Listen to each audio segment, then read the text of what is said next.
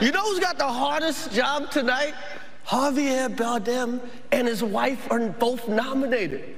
Now, if she loses, he can't win. he is praying that Will Smith wins. Like, please, Lord. Jada, I love you. G.I. Jane 2, can't wait to see it. All right?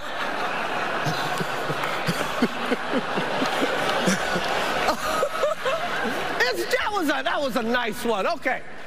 I'm out here. Uh-oh, Richard. oh, wow. Wow. Will Smith.